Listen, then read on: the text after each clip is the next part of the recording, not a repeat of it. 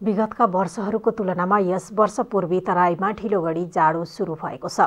विगतमा मङ्सिरदेखि नै जाडो सुरु हुने गरेको भए पनि यस वर्ष भने पुसको दोस्रो सातापछि सुरु भएको जाडो माग लागेसँगै अत्याधिक रूपमा बढेको हो। जाडो अत्याधिक बढेपछि सुनसरीको इठरीका व्यापारीहरूले ठाउँ ठाउँमा आगो बालेर ताप्न थालेका छन्। मध्य जाडो हुने महिनाका रूपमा लिइने पुस महिनामा यस वर्ष मौसममा फेरबदल भइरहेको थियो। कुनै दिन जाडो एकाएक बढ्ने अर्को दिन चर्को घाम लाग्ने गरिरहेको थियो तर घाम लागेसँगै बिहानैदेखि हुसु र चिसो हावा चल्न थालेपछि जनजीवन कष्टकर बन्दै आएको छ। चिसो बढ्न थालेपछि सहर बजारहरूमा मात्र नभएर गाउँघरमा समेत मानवीय चहल पहलमा कमी हुन थालेको छ।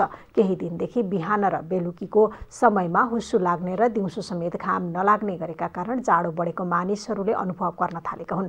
विशेष गरी जाडोको प्रभाव अन्य मानिसभन्दा बालबालिका वृद्ध वृद्धा बिरामी र अशक्तहरूमा पर्ने गरेको छ।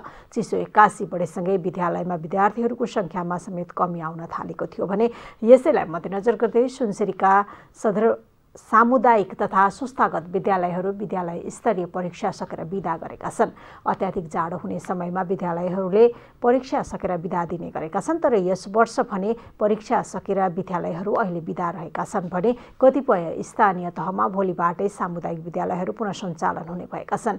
जाडो बढेसँगै बालबालिका साथै वृद्ध वृद्धाहरूमा विभिन्न रोगका सङ्क्रमण देखा पर्न थालेका छन्। बालबालिकाहरूमा चिसोसँगै निमोनिया रुगाखोकी छातीमा समस्या हुने तथा तथा वृद्ध वृद्धाहरूमा कोल्ड डायरिया लगायतका समस्याहरू देखिने चिकित्सकहरू बताउँछन्। जाडो बढेसँगै स्वास्थ्य संस्थाहरूमा उपचारका लागि आउने बिरामीहरूको सङ्ख्या बढ्न थालेका छन्।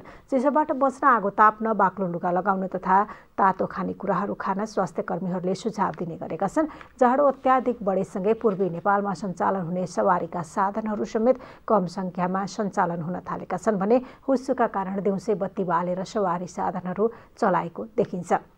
जाडो अत्याधिक बढेपछि सुनसरीको इनरुवा नगरपालिकाले वडा वडामा आगो ताप्न दाउरा मुढा वितरण गर्न थालेको छ।